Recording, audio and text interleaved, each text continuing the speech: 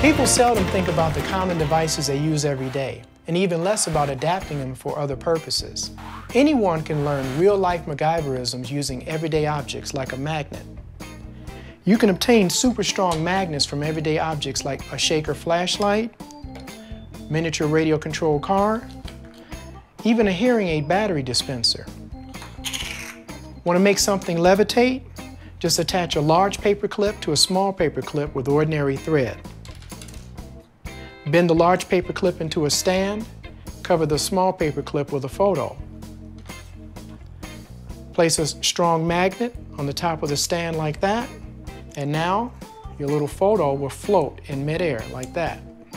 You can take your magnet and attach it to a ring and put it on your finger and, it, turn on things Green Lantern style. You can turn on a simple circuit like this. The paper clip is attracted to the magnet. The same circuit can be put inside of a greeting card and it can also activate toys and other devices like that. I even start my car this way by aiming my ring at the dashboard. Your magnet ring can also verify currency.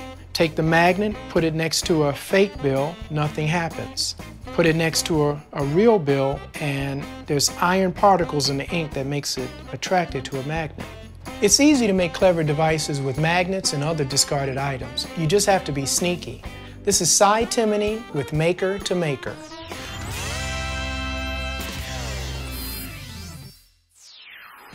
Major funding for MAKE is provided by Geek Squad,